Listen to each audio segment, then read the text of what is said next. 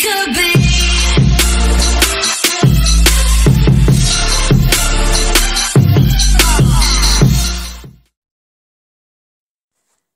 আলাইকুম। স্টাডি রুমে আপনাদেরকে স্বাগতম। আজ আমরা গণিতের যে বিষয়টি নিয়ে আলোচনা করব, সেটি যে কোনো প্রতিযোগিতামূলক পরীক্ষার জন্য খুবই গুরুত্বপূর্ণ।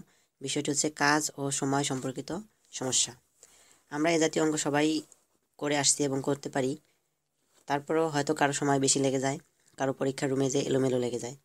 আমরা কোনো সূত্রের সাহায্য ছাড়াই শুধুমাত্র লজিককে কাজে লাগিয়েই আমাদের অঙ্কগুলো সমাধান করব এবং অল্প সময় করতে পারব। কথা না বাড়িয়ে আসুন আমরা অঙ্কে চলে যাই। তার আগে বলি, এই জাতীয় সমস্যাগুলোকে আমি মোটামুটি পাঁচটি ক্যাটাগরিতে ভাগ করেছি। আশা করি বিশেষ সহ যে কোনো প্রতিযোগিতামূলক পরীক্ষায় এই পাঁচটি বিষয়ের ভিতরেই অঙ্ক থাকবে। এর বাইরেও ব্যাংক জবে কিছু এক্সেপশনাল অঙ্ক থাকতে পারে, সেগুলো পরবর্তী একটা টিউটোরিয়ালে আলোচনা করব। ক্যাটাগরি ওয়ান, ক একটি কাজ নির্দিষ্ট সময় করে, খ ওই কাজটি নির্দিষ্ট সময় করে, তাহলে তারা একত্রে কাজটি করতে কত সময় লাগবে? ক্যাটাগরি টু, ক ও খ একত্রে একটি কাজ একটা নির্দিষ্ট সময় করে, সেই কাজটা খ একটা সময় করতে পারে, তাহলে ক কত সময় করতে পারবে? ক্যাটাগরি থ্রি, কিছু সংখ্যক লোক একটা কাজ নির্দিষ্ট সময় করে, অন্য কিছু সংখ্যক লোক ওই কাজটা কত সময় করতে পারবে? ক্যাটাগরি ফোর, কিছু লোক চলে যাওয়া অথবা কিছু লোক যোগ করার পর কাজ করতে সময় কত লাগবে এই টাইপের। পাঁচ, ভিন্ন ধর্মী লোক একসাথে কাজ করতে পারবে এ টাইপের অঙ্ক। এখন আমরা অঙ্কে চলে যাই। প্রবলেম ওয়ান, এ ও বি একটি কাজ যথাক্রমে দশ দিনে এবং পনেরো দিনে করতে পারে। তারা একত্রে কাজটি কত দিনে করতে পারবে?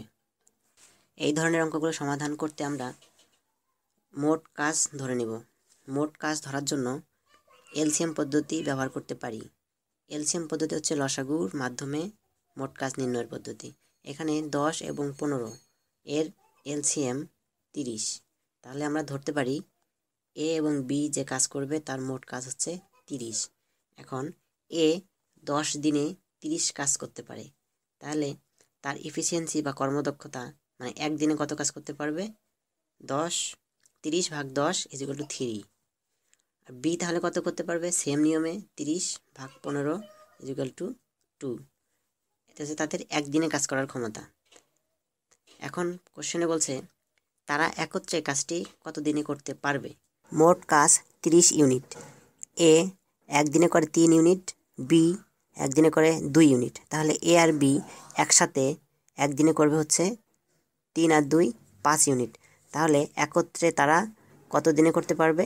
মোট কাজ তিরিশ ভাগ হচ্ছে five is equal to six problem two ক যে কাজটি বারো দিনে করতে পারে, খ সেটি পনেরো দিনে এবং গ তা বিশ দিনে করতে পারে। ওরা তিনজন একত্রে কাজটি করতে পারবে কত দিনে সমাধান। এটি প্রথম অঙ্কটির মতোই। এলসিএম পদ্ধতিতে আমরা সমাধান করতে পারব। এখানে প্রথমে বারো, পনেরো, বিশ এর এলসিএম মানে লসাগু হচ্ছে কত? ষাট। তাহলে ক ষাট ইউনিট কাজ করতে পারে বারো দিনে। তাহলে এক ইউনিট কাজ করতে পারবে হচ্ছে ষাট ভাগ বারো, এই যে পাঁচ। একইভাবে খ ষাট ইউনিট কাজ পনেরো দিনে করে এক ইউনিট কাজ তাহলে হচ্ছে ষাট ভাগ পনেরো ইজিক্যাল টু ফোর চার দিনে। গ, ষাট ইউনিট কাজ বিশ দিনে করতে পারে, এক ইউনিট কাজ করতে পারবে ষাট ভাগ বিশ ইজিক্যাল টু তিন দিনে। এখন ক একদিনে করতে পারে পাঁচ ইউনিট কাজ, খ একদিনে করতে পারে চার ইউনিট কাজ, গ একদিনে করতে পারে তিন ইউনিট কাজ। তাহলে তারা একত্রে একদিনে করতে পারবে কত ইউনিট কাজ? পাঁচ যোগ চার যোগ তিন সমান সমান বারো ইউনিট কাজ।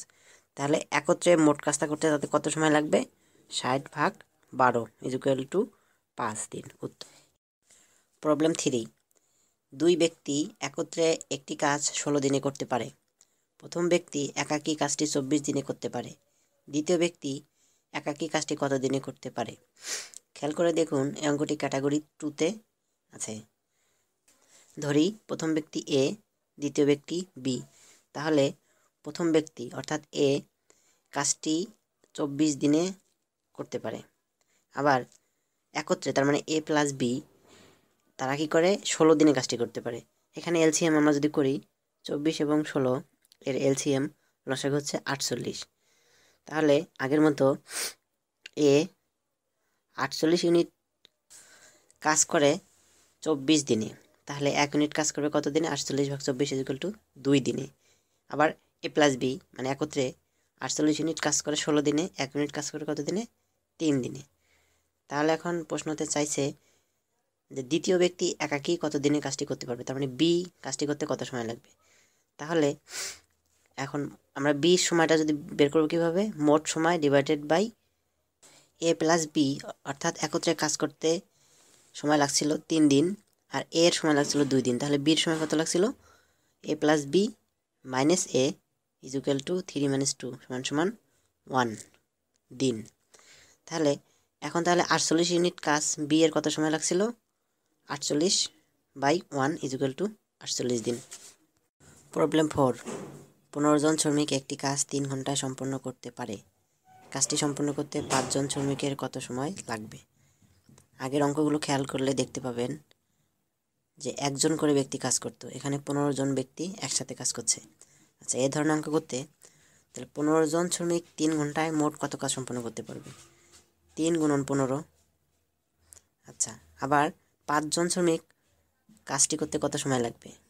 তাহলে হচ্ছে পাঁচ দিয়ে ভাগ করতে হবে। তাহলে তিন গুণন পনেরো ভাগ পাঁচ ইজুকাল টু নয় দিন। প্রবলেম ফাইভ কোনো পরিবারে মজুদ খাদ্যে চারজন সদস্যের আঠারো দিন চলে। মেহমান আসায় ওই খাদ্যে বারো দিন চললে কতজন মেহমান এসেছিল? এটি ক্যাটাগরি ফোরের অঙ্ক। তাহলে চারজন সদস্যের আঠারো দিন চলে। তাহলে মোট কাজ কত ইউনিট হবে? চার গুণন আঠারো। বারো দিন খেতে পারবে কতজন শ্রমিক? তাহলে হচ্ছে বারো ভাগ হয়ে যাবে। চার গুণন আঠারো ভাগ বারো ইজুকাল টু আমরা দেখছি পাচ্ছি ছয় জন কিন্তু আমাদের আগে লোক ছিল কয়জন? চারজন। তাহলে মেহমান কয়জন আসছে? ছয় বিয়োগ চার ইজুকাল টু দুইজন প্রবলেম সিক্স কোনো দুর্গে সাতশো বিশ জন সৈন্যের বারো দিনের খাবার মজুদ আছে। দশ দিন পর কিছু নতুন সৈন্য আসায় অবশিষ্ট খাদ্যে তাদের আট দিন চললে কতজন সৈন্য এসেছিল? তাহলে বাকি দিন, আগে বিশ দিনের খাবার ছিল, দশ দিন খেয়ে ফেলছে। বাকি দিন হচ্ছে বিশ বিয়োগ দশ ইজুকাল টু দশ দিন। আচ্ছা এই দশ দিন সাতশো বিশ জন খেতে পারবে। তাহলে সাতশো বিশ বিশ জন দশ দিন খেতে পারলে মোট সময় কত হবে? দশ গুণ সাতশো বিশ। আচ্ছা এবার হচ্ছে তাহলে এখন আট দিন চলবে কতজন সৈন্য খেতে পারবে? তাহলে হচ্ছে আট দিয়ে ভাগ হবে, দশ গুণ সাতশো বিশ ভাগ আট ইজিক্যাল টু নয়শো। আমাদের সৈন্য ছিল হচ্ছে সাতশো বিশ জন। তাহলে নতুন কতজন আসলো? নয়শো বিয়োগ সাতশো বিশ ইজিক্যাল টু একশো আশি জন। প্রবলেম সেভেন দুইজন পুরুষ বা তিনজন স্ত্রী লোক একটি কাজ বিয়াল্লিশ দিনে শেষ করতে পারলে ছয়জন পুরুষ ও বারো জন স্ত্রী লোক একত্রে কাজটি শেষ করতে পারবে কত দিনে? এখানে ভালো করে খেয়াল করতে হবে, দুইজন পুরুষ বা তিনজন স্ত্রী লোক। বা মানে হচ্ছে দুইজন পুরুষের যে কাজটা করতে পারবে, তিনজন স্ত্রী লোকও সমান কাজ করতে পারবে। তাহলে তিনজন স্ত্রী সমান সমান দুইজন পুরুষ। তাহলে আমরা শেষের যে ছয়জন পুরুষ এবং বারো জন স্ত্রী লোক আছে, যে কোনো এক, একদিকে কনভার্ট করে নেব। যেমন বারো জন স্ত্রী লোকে কতজন পুরুষের সমান কাজ করবে সেটা বের করে নেব। তাহলে হচ্ছে তিনজন স্ত্রী ইজিক্যাল টু দুজন পুরুষ, তাহলে একজন স্ত্রী কত? বারো জন স্ত্রী সমান সমান কতজন পুরুষের সমান হবে? দুই ভাগ তিন গুণন বারো ইজিক্যাল টু আটজন তার মানে হচ্ছে বারো জন স্ত্রী লোক সমান সমান আটজন পুরুষের সমান। এখন অঙ্ক করছি। দুইজন পুরুষ বিয়াল্লিশ দিনে কাজটি করে। তাহলে দুইজন পুরুষ, বিয়াল্লিশ দিনে মোট কাজ কত করবে? বিয়াল্লিশ গুণন দুই। আচ্ছা। আর এদিকে নিচে কতজন? বারো জন স্ত্রী লোক আর হচ্ছে ছয়জন পুরুষ। ছয়জন পুরুষ তো থাকলোই আর বারো জন স্ত্রী লোক সমান সমান কতজন পুরুষ? বারো জন স্ত্রী লোক সমান সমান আটজন পুরুষ। তাহলে এই আটজন পুরুষ আর ছয়জন পুরুষ। আট, ছয়, চোদ্দ জন। তাহলে চোদ্দ জন পুরুষ কাজটি করতে কত সময় লাগবে? তাহলে আগের মতো বিয়াল্লিশ গুণন দুই ভাগ চোদ্দ কাটাকাটি করলে হবে ছয়। ছয় দিন উত্তর।